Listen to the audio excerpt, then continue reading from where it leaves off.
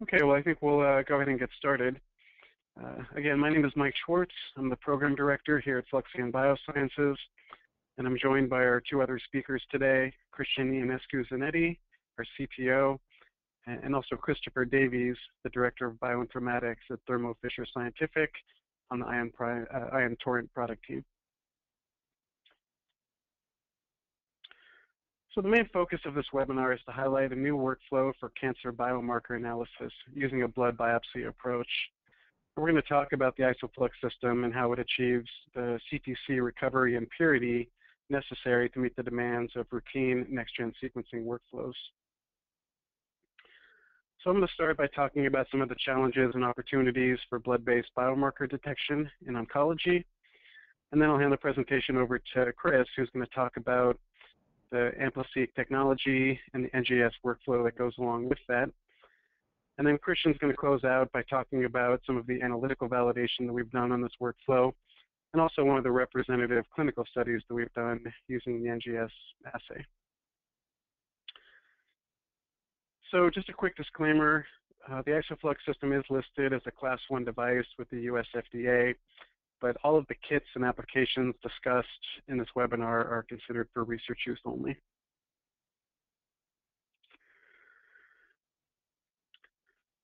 Most people feel that blood biopsies are going to make the first clinical impact for oncology in the management of the disease uh, after the diagnosis point.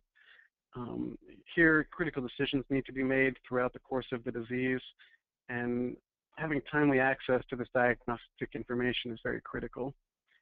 And today, most of these decisions are made based on imaging studies, tumor histology, and there are a few blood markers, but um, none that really drive at the somatic variants that might be present in the tumor. Um, in the past decade, molecular profiling of the primary tumor tissue has become increasingly prevalent. But as we come to learn more about this disease, uh, it's quite clear that there's an evolution going on over time. And then just having a single snapshot, however comprehensive it is, really can't adequately uh, represent this evolution. And so this quickly moves the bottleneck in the process to getting access to tissue. Uh, biopsies and needle aspirates uh, are typically they're only collected once at the time of diagnosis, uh, and sometimes not at all if the tumor is difficult to access or if the patient simply cannot endure the, the surgical procedure. So blood biopsies offer the potential to track a range of different cancer biomarkers at all the critical inflection points of disease management. So here's a common example of the standard of care for non-small cell lung cancer. Uh, patients are diagnosed and staged with uh, you know, the standard workup of imaging and histology tests, and then typically move to surgery and or a frontline chemotherapy or perhaps a targeted agent up front. But over a relatively short time frame, most of these patients are going to fail on their directed therapy. So after this point of initial failure, the clinician and patient are both in need of more timely information to really help focus on the next rounds of treatment. Blood biopsies can help do this uh, by uncovering emerging or resistance mutations that um, might have associated uh, drugs that can help treat them, whether they're approved or um, in clinical trials.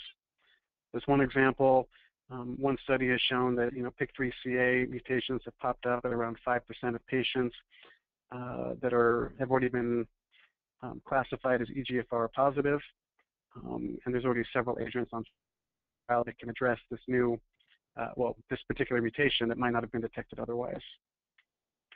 So this really plays to the um, potential use cases for blood-based biopsies.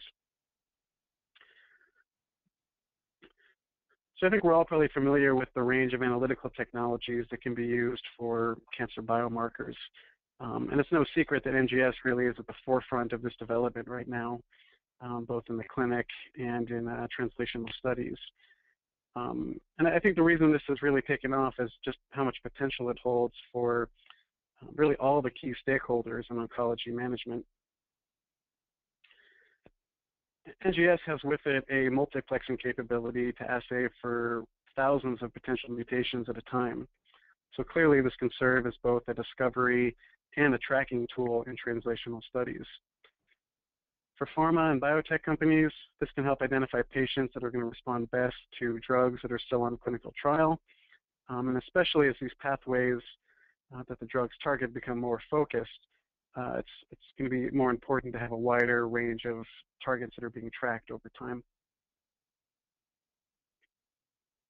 For the diagnostic labs, you know, the one thing we hear most often is that NGS provides a foundational platform, and it can share essentially a single validation that yield tests for many different indications. So this really lowers the, the, the burden for clinical labs to have tests that can track um, any number of solid tumor indications. So ultimately, the combination of improved test coverage and streamlined logistics are going to bring these benefits directly to the patients and the healthcare system. So in the field of NGS, um, whole genome screening gets a lot of the attention for just the sheer power of looking across the entire genome. Um, but we all know this comes at a high expense and effort. Whole exome sequencing is a slightly more manageable look at just the protein coding regions, but I think at this point most people still feel this is a bit much for the routine usage for clinical and research labs, uh, particularly if we're talking about tracking patients uh, multiple time points uh, throughout the year uh, and throughout the course of disease. Targeted panels can focus on anywhere from 10 to 500 genes, um, covering thousands of mutations that are most associated with solid tumors. So while all of these approaches have a place in cancer management, um, the workflow that we've initially chosen to focus on is the targeted panel approach. And as the testing moves closer to the clinic and translational studies, um, targeted sequencing brings with it a very compelling profile of clinically relevant content along with speed and affordability. And this, this is really what makes it suitable for routine usage in those labs.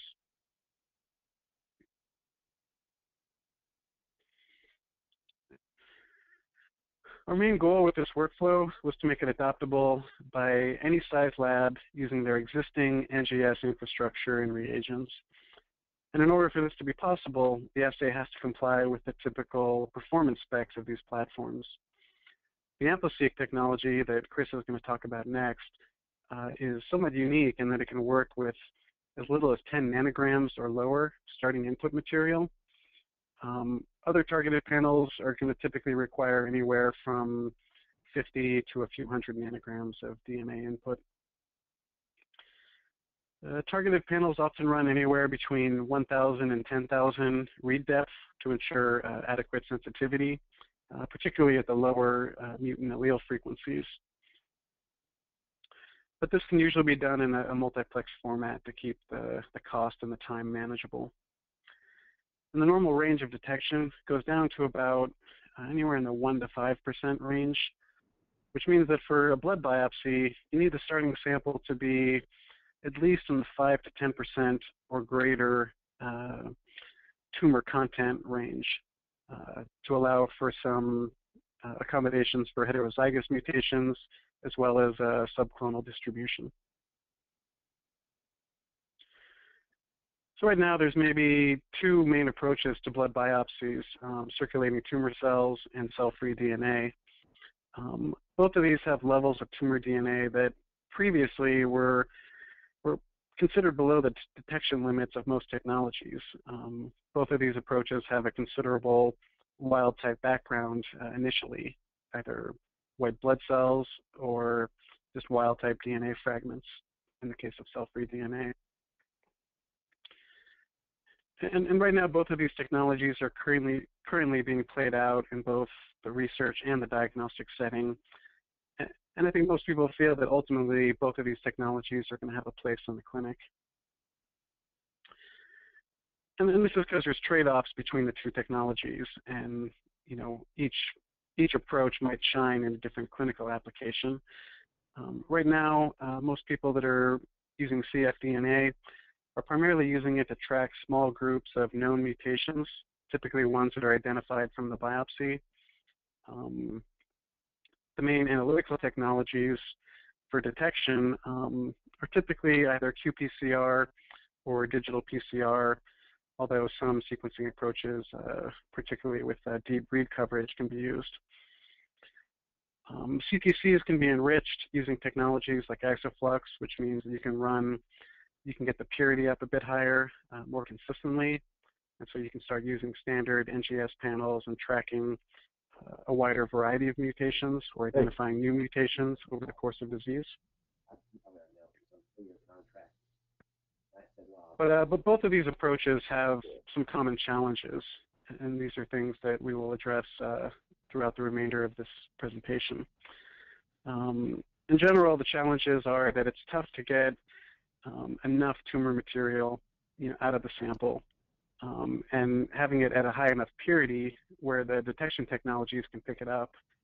Um, then there's also concerns about the, the quality of the DNA, um, particularly if it's fragmented um, or has been kind of chewed up in the circulation, uh, which is another reason why we favor taking the DNA out of the, the live circulating cells just to potentially get a higher quality DNA isolation. And then there's always the question of, you know, where is the DNA coming from?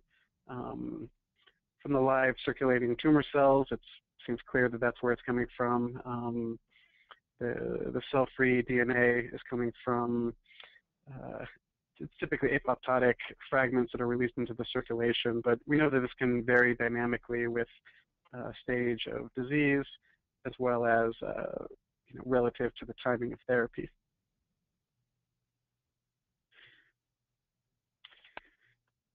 Cell-free DNA, uh, it's typically collected and purified from fresh plasma, followed by analysis using one of the detection technologies that I just mentioned. Um, there's no real standard way of doing this in individual labs, other than perhaps the uh, purification method. There are a few diagnostic companies and service providers that have started to offer this as a service, but typically they need to offer very high sensitivity, uh, going down below 0.1%. And again, they're focusing typically on very small groups of individual mutations on the order of 10 to 100.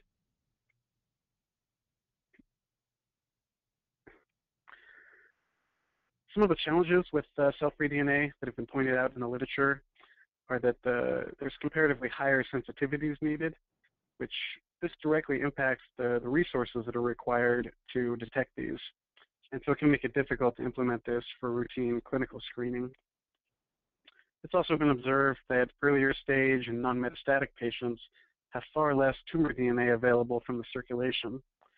And this may push the general approach uh, further down in the course of disease you know, towards a point where curative options are not on the table.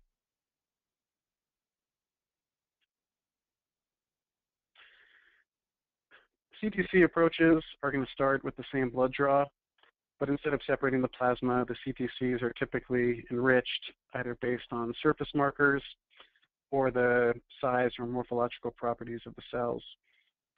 The, the first generation of CTC technologies, uh, including the CellSearch system and filter-based platforms, um, they've really struggled to produce CTCs at the right level of recovery and purity for routine NGS usage.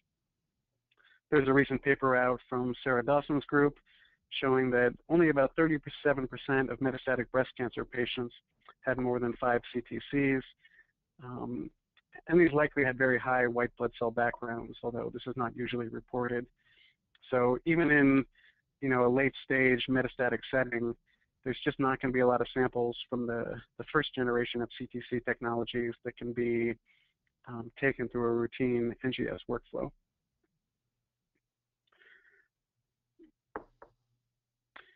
So that's why we developed the IsoFlux system here at Fluxion. Um, the goal was to um, get a high quality CTC recovery that can be used directly for molecular profiling. So I'll just briefly recap the details of our platform in case you're not familiar with it.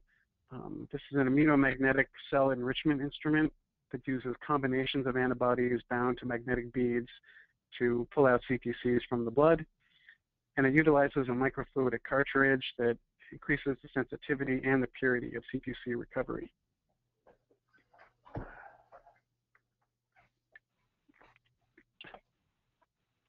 So here you can see the cartridge with the close-up of the microfluidic channels. Um, as far as the workflow, The red blood cells are first removed using Ficoll, and then it's mixed with the antibody labeled beads. And this gets loaded into the sample input that you can see here to the left, and then loaded inside the instrument.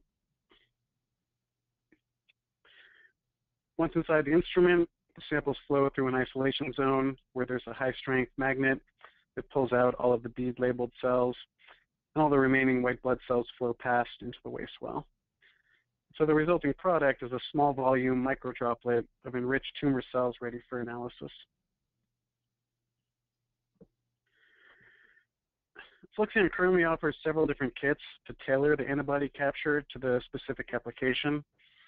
Um, we've developed protocols that incorporate both epithelial and disease markers, including things like EMT markers that can be readily, readily implemented in your own laboratories. Um, and then our customers have also developed their own capture cocktails for doing um, things like you know, melanoma cells, uh, T cell receptors, and specific drug targets in the case of our pharma and biotech customers. So just as one example of this, um, here you're seeing three different cell lines, um, BT549, MDA, MB231, and SKBR3, um, each of them stained for three different antibodies that we frequently use for capture. EpCAM and EGFR as epithelial markers, and HER2 as a more disease-specific marker. you can see at the bottom, the BT549 cell line has extremely low EpCAM expression, basically undetectable using immunofluorescence, uh, and moderate EGFR expression. So here we see that even just using EpCAM, there's about 45% cell recovery.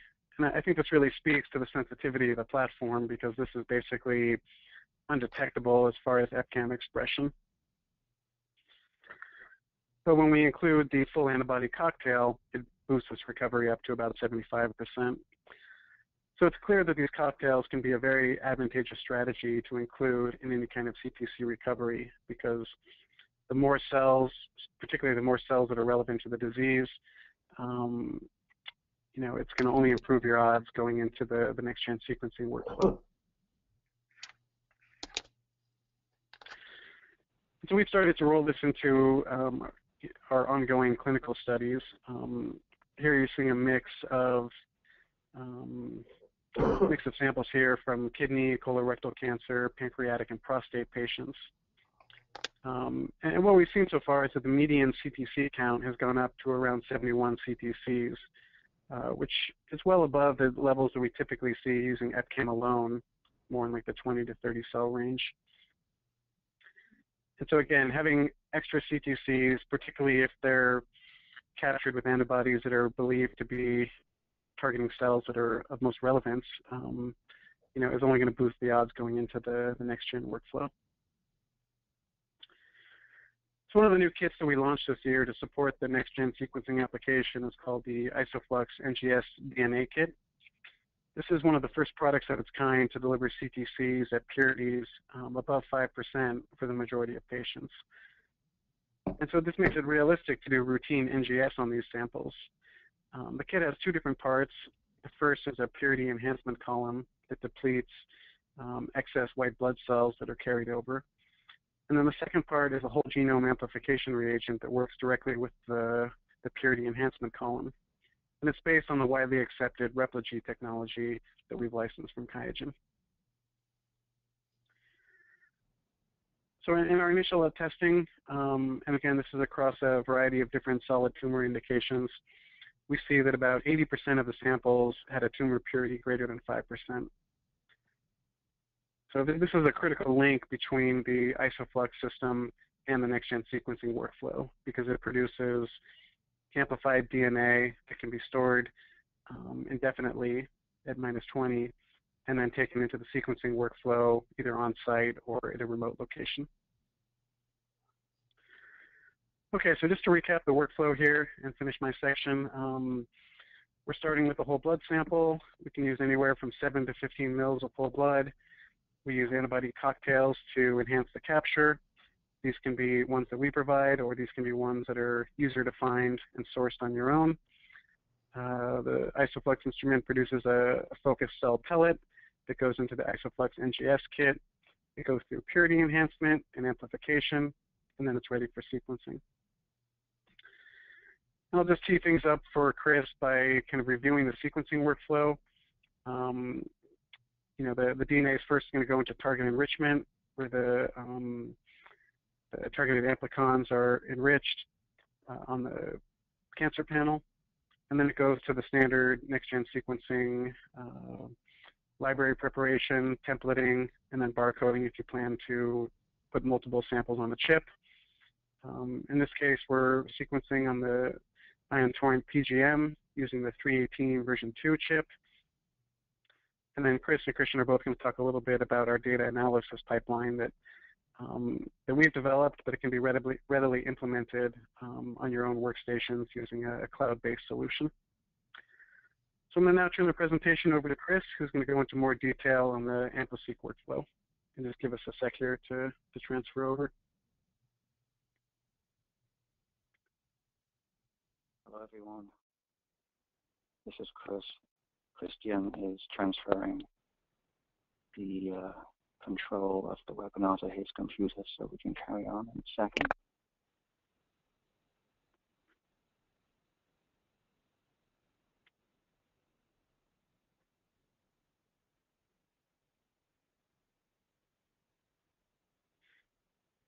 Okay, he's showing his screen. I assume everybody can see the screen now. Let us know via the comments if you cannot. Okay, so I'm going to describe this, um, the Ion Torrent Fisher Ion Torrent AmpliSeq platform as it was used here using our research use CHP2 panel, which is a cancer hotspot panel, and uh, a, a spike-in study of MDA MB231 cells spiked into normal whole blood. Okay, so this is a sort of a research use uh, application here. Um, so top left corner of the slide here, you see that we, we can start off with 10 nanograms of DNA, and that gets amplified using the AmpliSeq ion AmpliSeq primer pool. In this case, it's a single pool solution um, that uses uh, 207 amplicons for the, the CHP2 panel. Um, the, so the target's amplified, and then the next step is to digest off the um, most of the primer sequences, leading to these shortened orange bits on the end of your amplicons there. Then we have the sequencing adapters. You can do that with or without barcoding. The barcoding allows you to multiplex multiple samples on a single chip. Then we go into library preparation, top right. Templates are prepped in their on their individual beads, so there should be a single clone of single molecule clone per bead. And then, whoops, hang on, back up.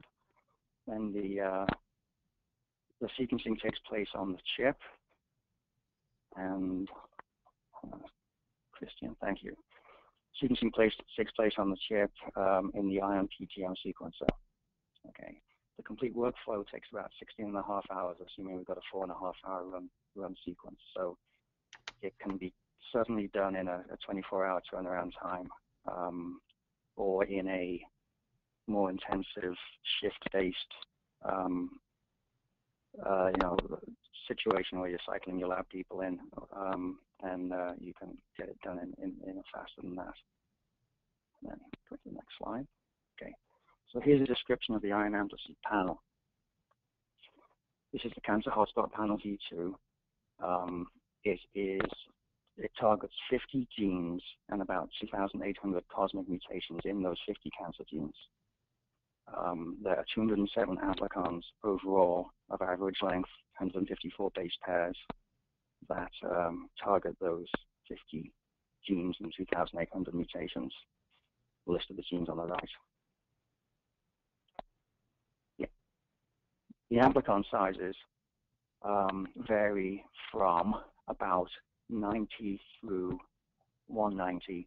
The actual, um, the average is 154 um, the, the, vast majority are in the 125 to 175 base pair range. Next. Um, runtime varies for the different types of chips that you can use and the different types of read length kits. Obviously, the, the longer read length kits take more time, and the uh, the higher density chips take a little longer as well.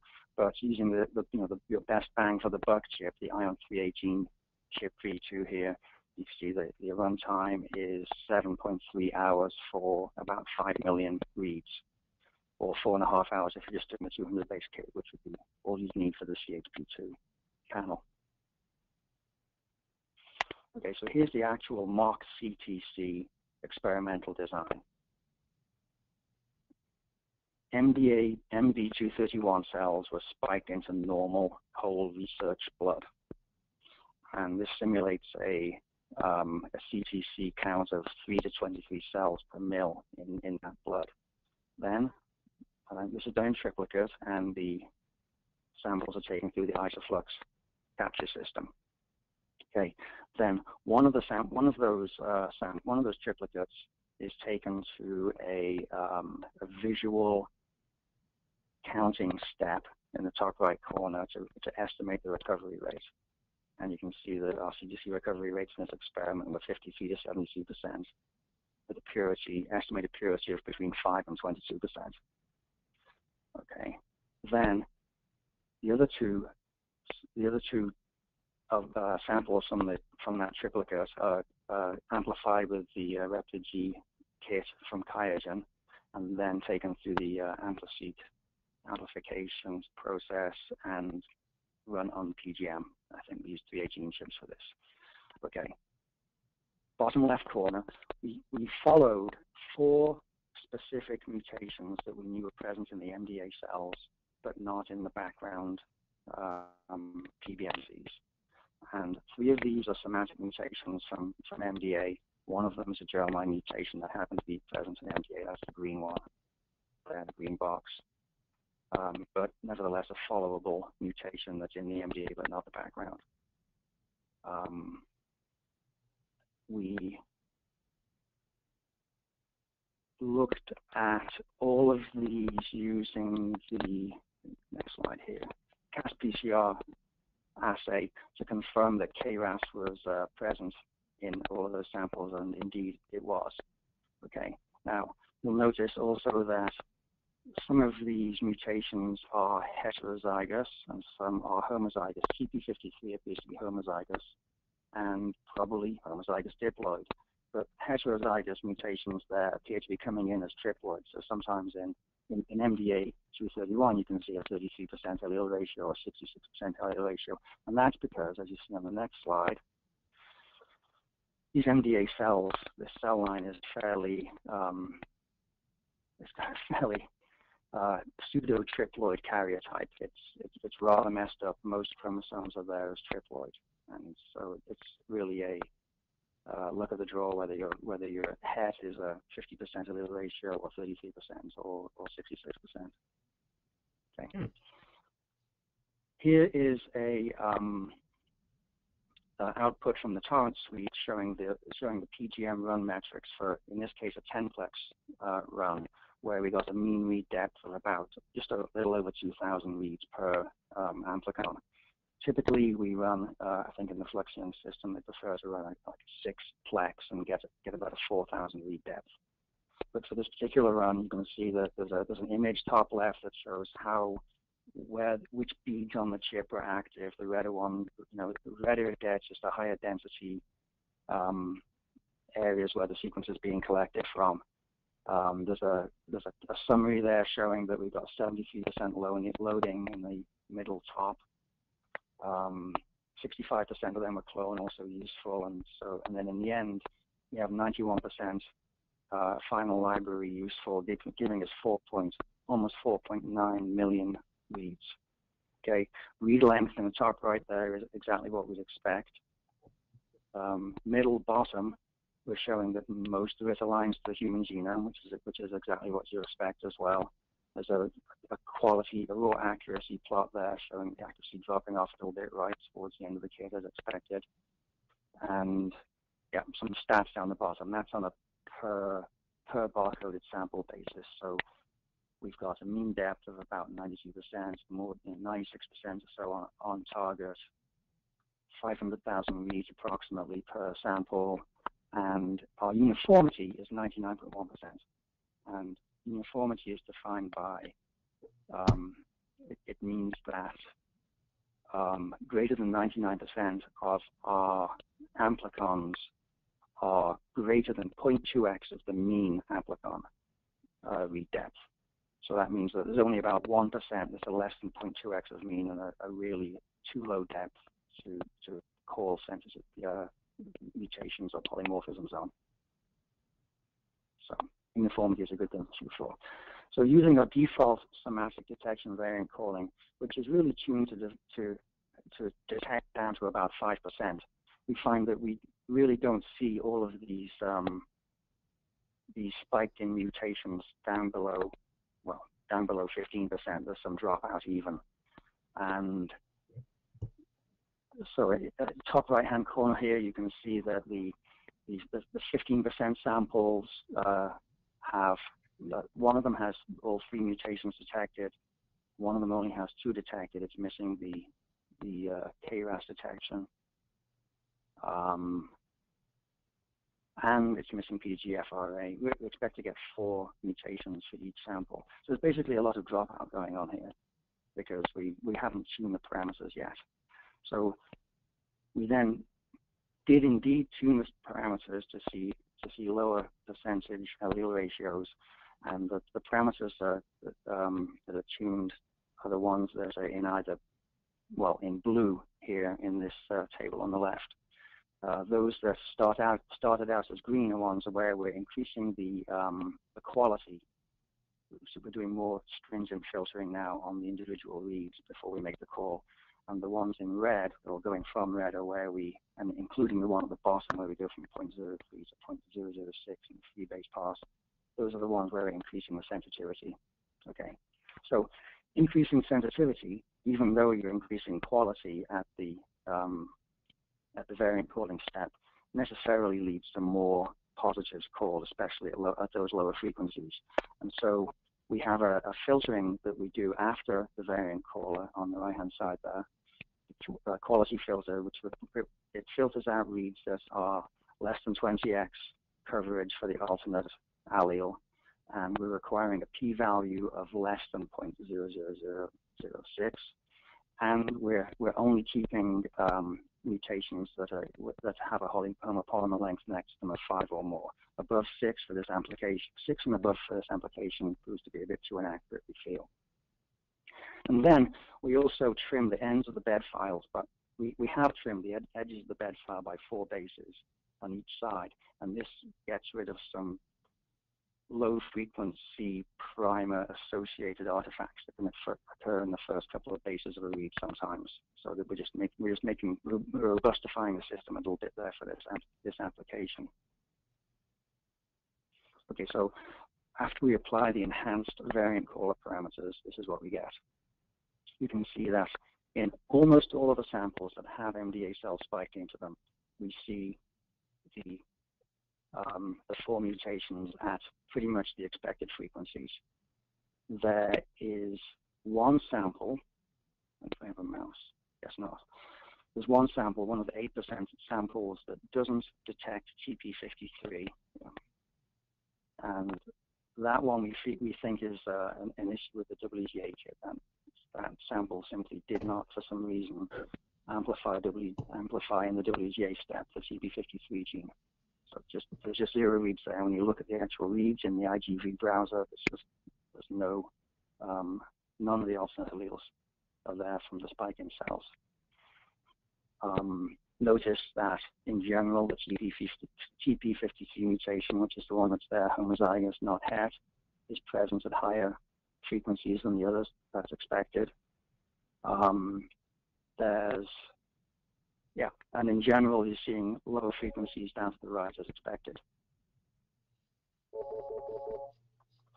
So when we add all that up and, and plot for sensitivity and PPV, we see that we actually get 97% sensitivity down to our, our, our low threshold set at 1%, and we get 97% PPV also at that at that low threshold. Um, in this case, in this study, we had there was one false negative which affected our sensitivity. That was the one TP53-1, which we think was not a not an isoflux or a sequencing issue, but rather probably a WGA issue. And the uh, the PPV was affected by one false positive at the one percent level, which only showed up in multiple replicas of one sample, and we think was actually a, a, contaminant in that sample. So we think that the, the sequencing was correct in calling that false positive in actual fact. The study was done from the same WGA samples at two different sites, at, at UCSF and at the Iron Challenge SSF site, that is the, the Thermo Fisher site in SSF. And we saw a concordance in the uh, allele frequencies of 0.95 between those two sites, so quite pleased with that. And indeed, the the same false positive and same false negative from the WGA samples are present on the two sites as well, so extra evidence there. And so just to conclude, yeah, 97% sensitivity for the two positives down to 1% with 97% PPV. And it shows that, you know, it's a demonstration study showing that uh, low frequency variants can be detected in, at least in this demo, which is, uh, of course, um, cell line cells spiked into research normal whole blood. I think this is where I pass it off to Cristian. Okay. Hello, everybody. Um, this is Cristian Canadian. I'll talk a little bit about um, how we've enabled uh, the adoption of this assay at various sites and, and uh, how we go about uh, transferring these protocols out. And um, I just wanted to remind you that if questions come up along the way, um, you should feel free to write them down in the questions section and we won't address them during the talk, but we will um, do our best to address um, some or all of those questions at the end of the talk.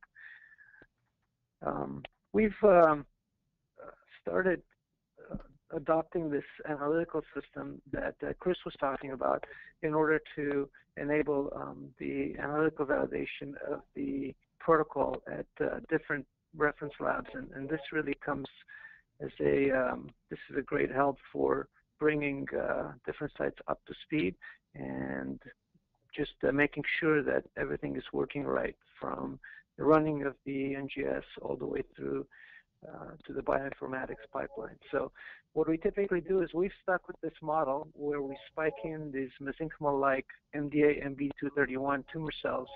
Uh, the reason this is a great model is these are uh, cell lines that this particular cell line is a breast cancer derived cell line and it has very low EpCAM expression, and so it does well to highlight our uh, recovery using the uh, EpCAM EGFR cocktail. Okay. What we typically do then we is that uh, we uh, blind the samples mm-hmm. and mm -hmm. we transfer all of the uh, analysis over to yep. Uh, our customers or collaborators, and this this whole analysis can be completed in the Ion Reporter online tool that's provided by Life Technologies. Um, finally, what we want to see is that these cell line variants can be detected all the way down to a recovered level of yeah. two cells per one milliliter of blood. Um, what that translates to in a traditional draw of seven mils is, is uh, 14 cells that are being recovered, or in a larger draw of 14 mils, uh, that's about uh, 28 cells. So we've done this a lot, and we've collected validation data and, and successfully uh, been able to complete this at over six sites. So just to review, uh, we have this cell line. This is well known uh, for these at least three somatic mutations that we focused on here, uh, the BRAF, the KRAS, and the TP53. And, and, here I'm just showing the listing of these in the COSMIC Cell Lines Project database. So basically what we do is we, we transfer over the protocols for both variant calling. Yes. So the, the parameter settings that Chris was talking about are yes. transferred over uh, as a custom JSON file. And after that, we also have a detailed protocol yep. that enables any user to put in yes. the uh, filtering parameters that we use in Ion Reporter to filter, then filter down the anything that's detected to the high confidence variance. So this is again an example of a dual data set. that's similar to what Chris was showing, and it shows data at two different sites. So again, here what we did is we had a cell count based on pre-labeled cells, and that uh, estimates the purity of the cells. Um, you see data for the pure cell line at the top. It's about 5,000 cells, and you clearly see the presence of these three mutations. Two are roughly heterozygous, one is homozygous at TP53. Um, then what we do is we perform blended analysis of these samples and call basically all the mutants that pass our uh, our validation criteria, and these are the results that we get. Now, um, you can see that we go all the way from 12 cells per mil, and these are cells recovered, down to 2 cells per mil, and that's the equivalent of a purity of 5%. So you roughly have a couple of hundred white blood cells in the background. Um, the reason we're focusing on this uh, 5% number, again, is because as Mike showed earlier, we uh, looked at the purity enhancement, and, and one of our critical parameters was to get all of the patients uh, above that um, uh, 5% purity number, the people that were CTC positive. Now, you might want to ask if you always get 5% um, purity in a, in a, majority of cases, uh, why do you need to do variant calling down to you know 1% or, or lower levels? And the answer there is that in the, the clinical samples, you're also dealing with heterogeneity among the circulating tumor cells. So you really want to be um, below 5%. You want to be able to call at least down to uh, 1% and more helpfully down to 0.5%, which, which we've also done, but was not shown in this presentation. So the bottom line for this data set is you've got um, three matched samples basically, and then the DNA is being the amplified DNA is being again analyzed at two different sites. You, you notice that there's not perfect overlap. Uh, one site was a single run, that's the site site two here, and one one site was uh, I'm showing a combination of two different runs. Uh, we just used this to have more controls. We had absolute positive control in there, as well as a number of different uh, negative controls, not just the zero spike level, but uh, uh PBMC sample um, that just has white blood cells and, and two normal gDNA samples.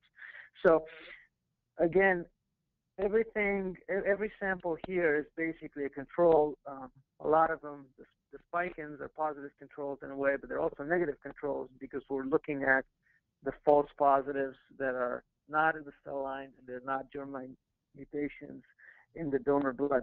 And so what you see is a very low false positive rate. As Chris was showing previously, you have just this one uh, variant that's being detected here in the VHL gene. And basically, this is this is just a wild type mutation, but also it's present in all of these samples. You see that there's one sample where it's not reported. Uh, that's because it, it failed one of our criteria for read number. We call anything that has over 20 reads in the variant allele, and that, that failed that particular parameter. But uh, upon deeper analysis, the variant is here as well. So it's, it's really present in, in the DNA, and it's probably also uh, an artifact of either the amplification or the um, targeted amplification. Also, you have loss of one variant here, the TP53, and again, the, the, the same sample at both sides. So there's a very good correlation. Um, there is there is some um, small, low percent loss, um, likely due to the WJ process, but overall this works really well. And this whole pipeline means that you can do de novo detection with good confidence levels, and we've, uh, as I as I talked about on the previous slide, we've completed this type of analysis at about a half dozen different sites uh, up to now, and, and it's uh, worked very well. So it's we, we really focused on making this a readily adaptable workflow, and we've honed in our, our validation criteria.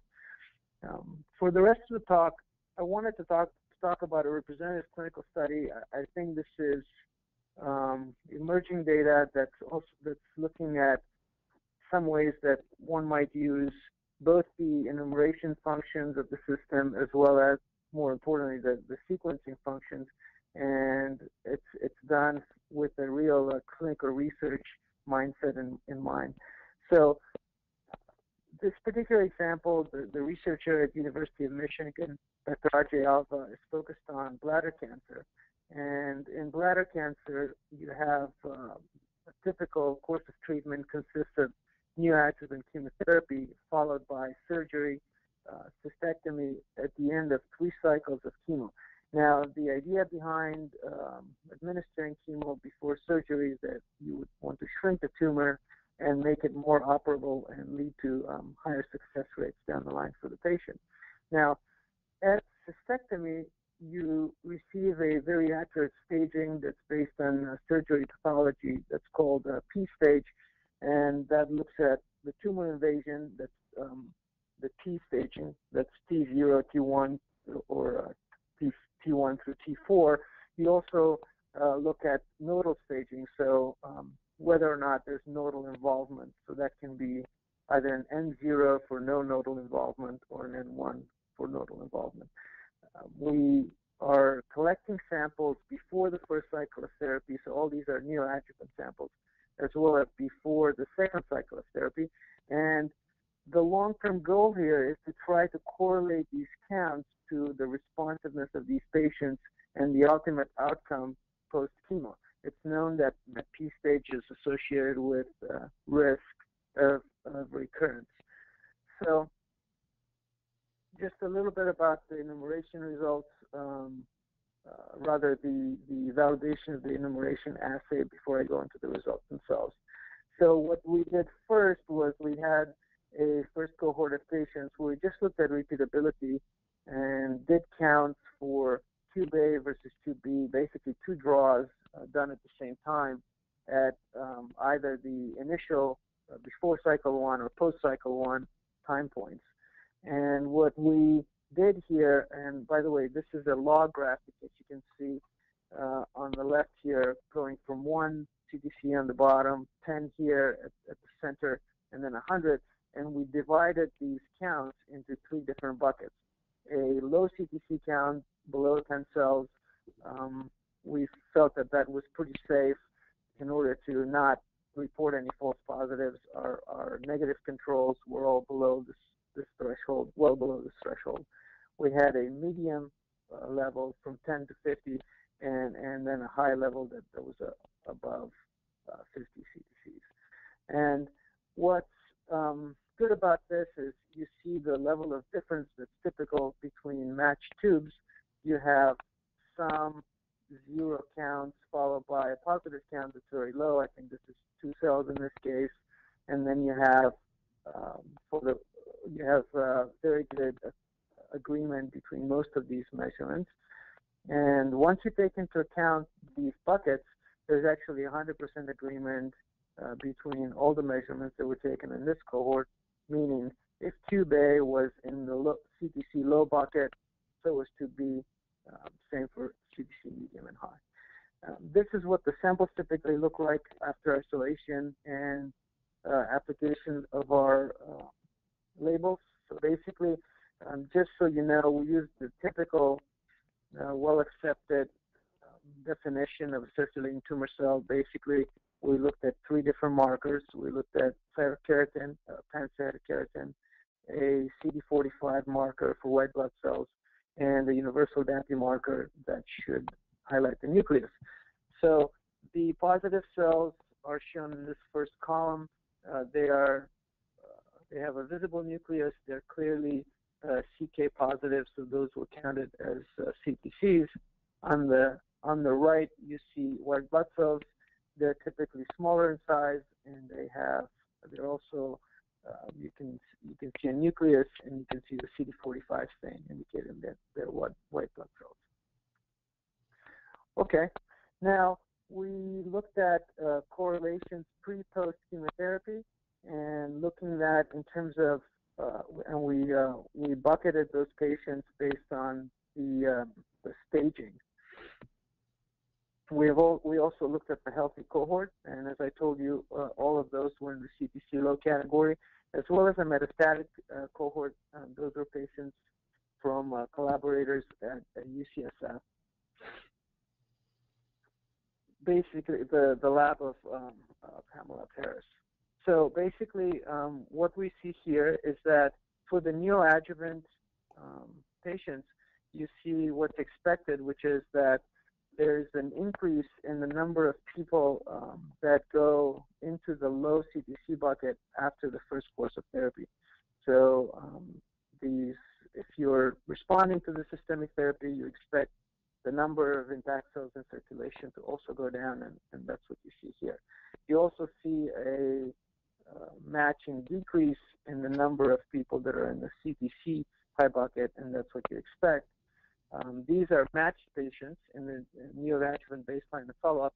The metastatic cohort is completely distinct from that, and we have basically a higher percentage of people in the high bucket, but these are, again, I should caution, these are not directly comparable because it's a, it's a different cohort of patients, but it's sort of what you expect.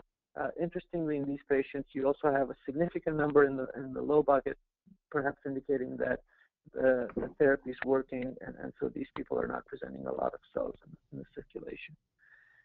Now, what we did next was to um, plot these numbers according to the P staging for uh, neoadjuvant patients only. So on the left, you have the patients that were P stage T0 and N0, uh, indicating a, a low risk of recurrence. And then you had, um, on the right, you have P stage uh, either T1 and above or, or N, N1. And so I think uh, if you look at these graphs, um, you see some, some change from the first to the second time point, but um, you, there's a very clear difference between these two cohorts in terms of the cell numbers that were detected. So there, there does seem to be some correlation between um, staging at surgery and and, uh, and the counts that we get at these two time points. Now, um, the numbers are still low here for patients that we've analyzed, but we do see um, some correlations here. Uh, basically, we looked at the different measurements just to see what lines up best to P staging. So uh, what I'd like to highlight here is that the patients that were baseline medium high had uh, a very high probability of being P stage advanced, either T1 to 4 or N1 N1 2. Um, that means that these these people will be at, at higher risk, and potentially uh, in the future, uh, this larger studies will hopefully yield um, which patients are really responding and benefiting from from chemo and which patients are not. Um, the other correlation that I'd like to point out again is if you have a medium to high CTC count at both baseline and at um, the second time point, and this is the, the bottom here, um, all the patients in this category were, were uh, advanced P stage. So again, it's been shown that, that CTCs are a, a good prognostic. I think what's uh, interesting about this study is that bladder cancer has been notoriously difficult to obtain cells from patients, and in this study, we show that you know, we can we can track patients. They're well differentiated from the healthy cohort, and there seems to be uh, a, a, again a, a, decent correlation with P staging. Uh, finally, I wanted to talk about the first set of sequencing data uh, from these patients. Again, when we start uh, running clinical samples uh, for this uh, clinical research project, we looked at um, both metastatic and neoadjuvant patients. And what we typically do is we run, in terms of the mechanics, we end up running six samples per 318 chip. And what that gives us is a mean coverage of about 4,000x uh, while keeping costs reasonable. We typically have four patient samples per run as well as healthy and positive controls for each run. Yeah, that's right. That is Basically- correct basically the positive control also um, also serves as a negative control in a way because what you'd want to see is the detection of these known um, known variants that are there that are somatic, but no no extraneous detection of other variants that come through. again, the healthies, uh, you want to see no variants detected at all. And what we did here is we did blended analysis for a subset of these. We did what we did for our analytical samples. That is, we processed the same amplified DNA at multiple sites. And those samples are indicated by an asterisk. So first of all, um, the controls look good, which is great. And what you see in the samples that were processed at multiple sites is that we had a great agreement in terms of being able to detect the same variants at both sites where they were tested. Uh, in terms of variant detection, we we uh, looked, we saw about 50% of patients having at least one variant. Uh, some of these were genes that are well known to be associated with this disease, like JAK2 and uh, FGFR2. So, in conclusion, uh, I think that uh, we've developed a readily available uh, workflow to look at um, tumor cells via NGS that, that use the AmpliSeq panels that are well validated and have a fairly good coverage over 50 genes. And really our, our collaborators and our customers are in kind of uh, two different areas. One is the genomic test lab within cancer centers. Uh, the others, the other is uh, pharmaceutical companies that are that are using the system as clinical trial support. So uh, obviously, if you're a pharmaceutical company, what you're looking at is um, biomarker development and selection of patients, uh, as well as surrogate endpoints for, for clinical trials. Uh, others are doing um, clinical clinical uh, research and translational science, basically looking at um, either uh, either what's a, what's uh, present as a mutation in the sample as a whole, or single cell studies. Um, I haven't talked about that, but there are workflows whereby one can select single tumor cells, amplify those, and, and sequence them in a similar manner. Um, the other thing that is enabled by the system because the cells are intact is um, gene expression studies, uh, either at the population level or at the single cell level. And uh, we've done some of that work as well, although it wasn't highlighted in this talk. Uh, again, I, I, think in the future, the, the biggest promise of this is being able to uh, develop tests that are robust and that can provide uh, uh window into the disease and, and the, the involvement evolving uh, mutational status of the patient, and that's what a lot of these studies are aimed at. Okay, so just to summarize, um, I believe that um, we've we've shown you that I think the blood biopsies are coming into their own. There are uh, different techniques that are aimed at uh, gleaning mutational information from these types of biopsies, and the, the sequencing is becoming more and more, uh, it's being applied more and more to these sample types. We think it's the optimal technology, and that's where we put a lot of effort into optimizing and being able to to transfer and replicate this workflow.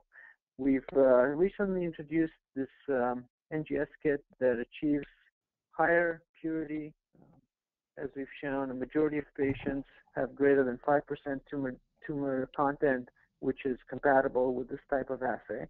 And uh, we've had very, we've been very fortunate to work with Life Technologies in developing the AmpliSeq technology for this particular application. And you saw what was involved in that. It's basically uh, not as much the running of the assay, but there's been a lot of development on the bioinformatics side to increase the sensitivity without losing um, without losing specificity, so, so keeping uh, a very low false positive rate. And so um, I'm hoping to see more great results from our collaborators and customers. And with that, uh, this concludes our, our webinar, and we're happy to take any questions. Thank you. Great. This is uh, Mike again. I just want to thank everyone for attending and thank our speakers, uh, Chris Davies and Cristian Ionescu Zanetti. And I've got a couple of questions here that I can start with uh, that were asked during the presentation, and then if you have any additional ones, you can type them in now. Um, you can also email questions to us privately at support at fluxionbio.com. Uh, so I've got one question here uh, asking about the availability of this as a service. I'm not sure if that's referring to the IsoFlux portion or the NGS portion. Um, but yeah, so we, we uh, for those that don't know, we run a service lab um, at Fluxion where we can do both the targeted CTC enrichment. You can send clinical samples to our lab. We uh, can process them all the way through, including the next-gen sequencing.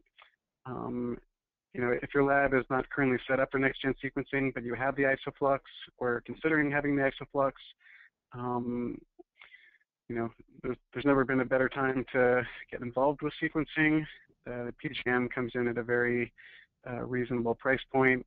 Um, but if you prefer to still send that out, uh, there's a number of service labs that just offer the NGS lab, and you probably would want to get in touch with us, and we can perhaps make some recommendations. Um, there was another question asking more about the controls that we use in the sequencing and how often you implement them. Um, this really, you know, has a lot to do with the assay design. So, you know, your lab would ultimately make those calls. But in general, you know, like Cristian talked about, um, there's an analytical validation involved when you're setting up a new assay.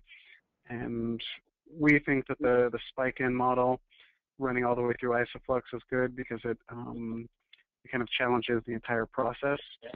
And you know, for that we use tumor cell lines that have very well characterized uh, somatic variants that we can make sure that we see.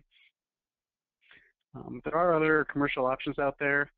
Um, I know within the Thermo Fisher portfolio, there's a, um, a line of control standards for NGS from Acrometrix that have you know, anywhere from a small amount to a couple hundred variants that are reliably detected and kind of known titers.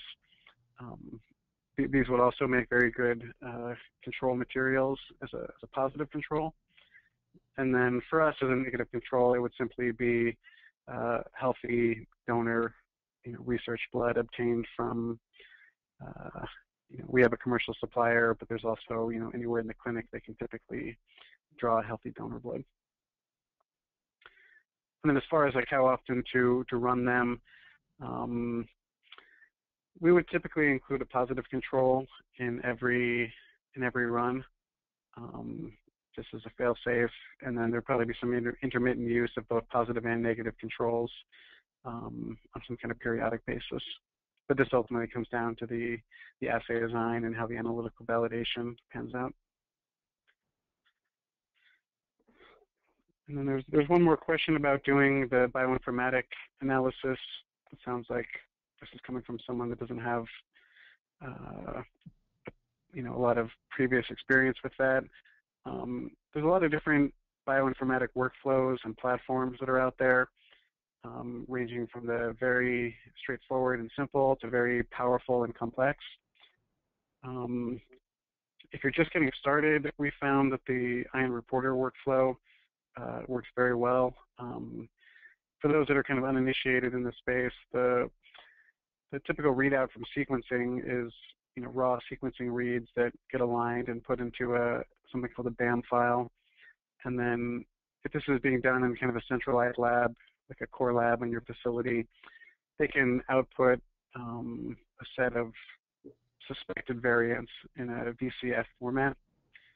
And then th these can be analyzed directly on your own using a, a cloud-based solution like Ion Reporter, which simply means you go onto a website and apply the filters that we've prescribed, and it'll pick the kind of unfiltered variants and get you down to a, a final list of filtered variants that can be sent into annotation. So that's kind of the, the easiest entry point, but there are other uh, third-party packages out there for doing kind of more complex bioinformatic filtering.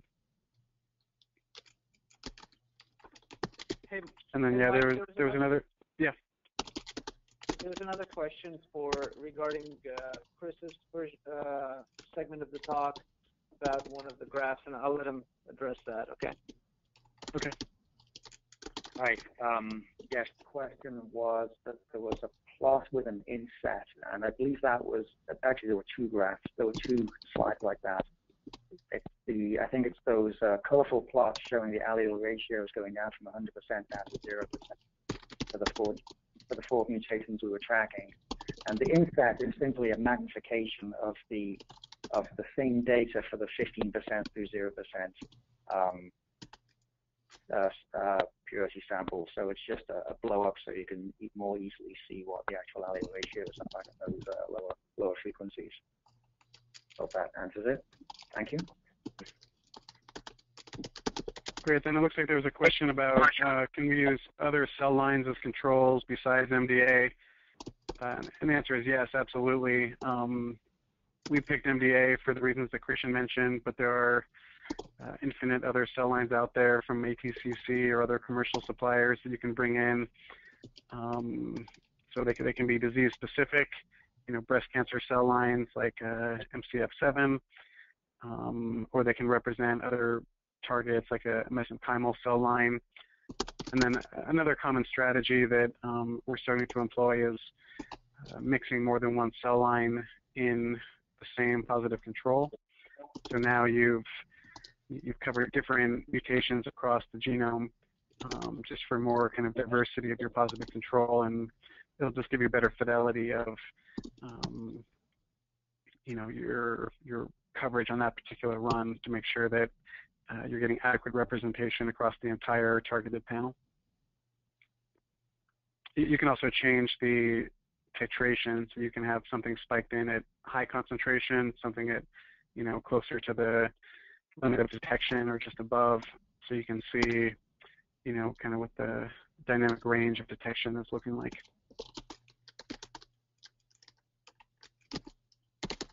Okay, it's uh, running a little bit over here, so I think we'll probably stop there. But again, if there's any other questions you'd like to ask, uh, you can send them to support at fluxionbio.com.